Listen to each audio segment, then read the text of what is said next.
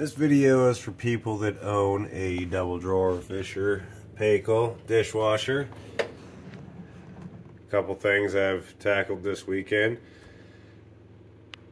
I don't know if you can see, but uh, all those holes are pretty clear. They were not earlier this week when my dishwasher went into the they looked a little more like that. But this one seemed to be the culprit of water in the bottom of the pan, causing the float switch to send the dishwasher into idiot mode.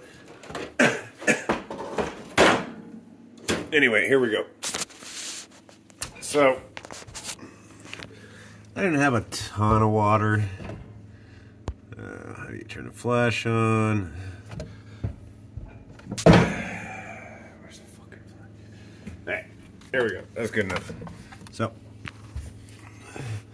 you can obviously see there was some water down here. This is the first time it's happened to me. And the usual things you'll find online are the lid here, the black rim around there isn't seating properly to this edge here, which there's always going to be some water there. I mean, it's a dishwasher. But what I think I have,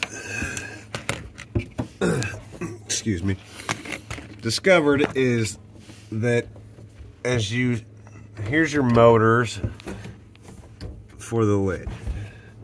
When you go in the diagnostic mode, you can pull this drawer out and make this lid.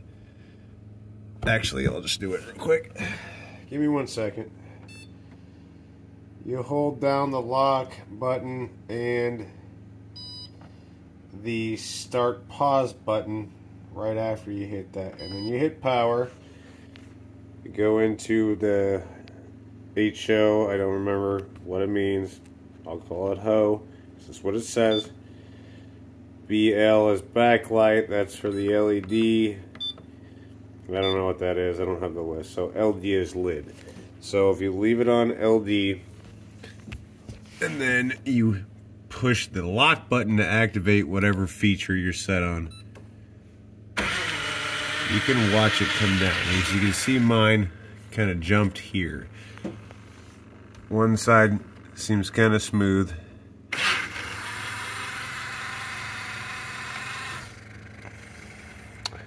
There's really not a way to, I don't think, grease the tracks like you would in a power window on a car. See how it kind of takes a sec for one side to come down? But what I've discovered is, yeah, it looks funky going up and down. And I ran a rinse cycle after the cleaning cycle that caused water down here earlier today. But there's a little, uh, hopefully you all can see this. Let's, let's zoom in a little bit. There's play front to back on both sides. So, after mopping up the water earlier today and doing some troubleshooting, just kind of seeing what was going on with the lid, and then running a rinse cycle to get some of the stalactites out of the bottom of this thing, which I'll show in a sec. I think maybe my motor is a little weak, or maybe the track could be cleaned or whatever. But I think the problem was, was that this was pushed back on both sides or just off kilter enough to create a, a bad seal here. And then I ran, I, I pulled them both forward here so they're even. Put the drawer back in, ran a 12 minute rinse cycle or whatever it was, and I didn't have any water in the bottom there. whereas I did when I just ran a regular cleaning cycle because I had stuck some 30% uh, vinegar down inside this thing to clean some of that crap out. So now we'll get into the bottom side of this thing.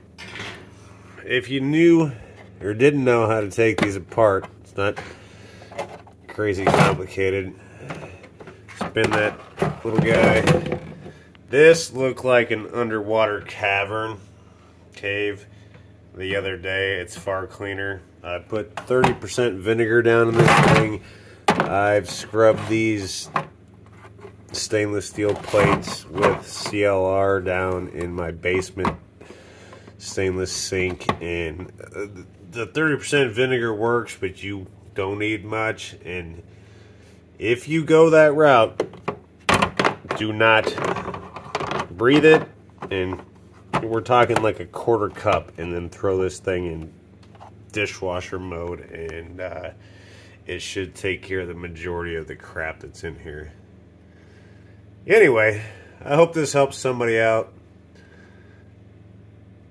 Just don't pitch your Fisher, Fisher Paykel dishwasher without trying some of these little things first. If you have the uh, F1 error code, I believe it is.